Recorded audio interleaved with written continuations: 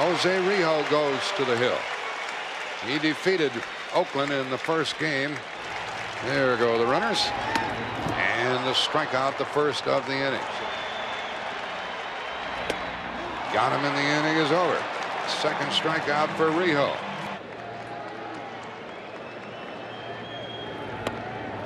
And a strikeout, and that's the third of the game for Rijo.